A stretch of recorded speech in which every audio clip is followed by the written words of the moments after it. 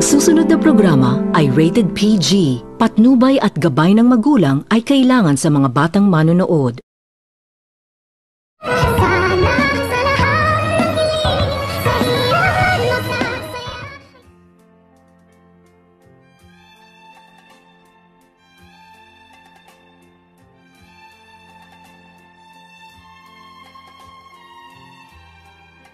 Gulat na gulat itong si Zoe nang kanyang makikita na ang kanyang mami ay napahiga ito sa sahig sa kadahilanan na dali-dali naman din itong nilapitan ni Zoe ang kanyang mami at agad nitong tinulungan ni Zoe ang kanyang mami. Ngunit nanggigiliiti ito ng galit itong si Zoe nang kanyang makikita itong si Justin na nakangiti ito na nakatingin sa kanila sa kadahilanan na agad naman din itong pinagsabihan ni Zoe itong si Justin kung ano umano ang ginagawa ni Justin sa kanyang mami. At dito nakangiti naman din itong sinagot ni Justin itong si Zoe at sinabihan nito ni Justin itong si Zoe na ibinalik lang umano nito ni Justin ang mga ginagawa ni Moira sa kanya kung kaya't patas lang umano silang dalawa at ang buong akala umano nito ni Justin ay mas matapang umano itong si Moira. Ngunit hindi pala umano ito isang matapang dahil isa pala umano itong lumpo dahil kunting tulak lang umano nito ni Justin ay nadapa na umano itong si Moira.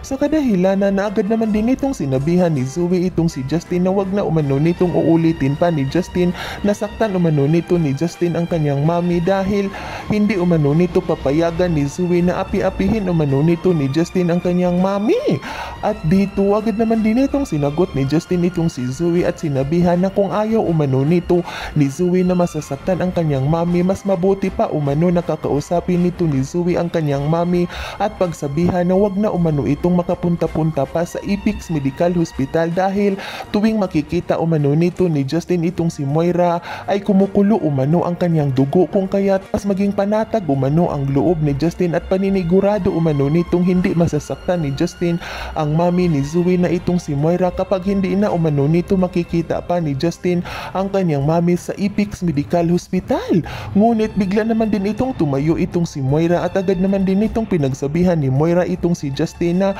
wala umano itong karapatan itong si Justin na pagsabihan ito wala umano itong karapatan itong si Justin na pagbawalan itong si Moira na pumunta sa Apex Medical Hospital dahil asawa pa rin umano itong si Moira at hindi umano sila anal sa kanyang asawa na itong si Robert at ang kanyang asawa umano na si Robert ang CEO ng Apex Medical Hospital kung kaya't may karapatan umano itong si Moira na pumunta sa Apex Medical Hospital dahil hospital umano ito ng kanyang asawa. Yan ay ating aabangan sa susunod pa na pangyayari sa kaganapang ito ng abot kamay na pangarap. Huwag mong kalimutang isubscribe at i-hit ang notification bell ng aking channel.